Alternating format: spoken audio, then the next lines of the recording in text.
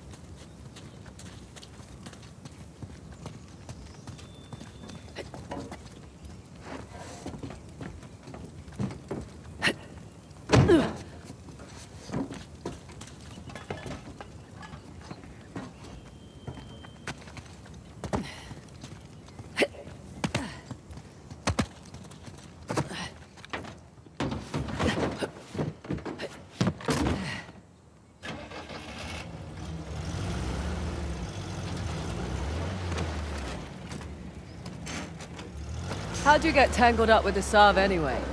Purpose? Rather not go into it. He certainly seemed to have a thing for you. Don't remind me. Proved useful at the time, but... Yeah. Uh, do tell. Rather not.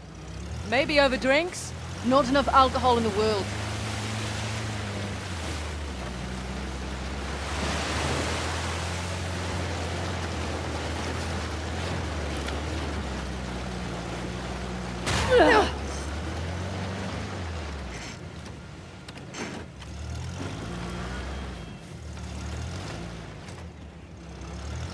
Right, you're the military expert.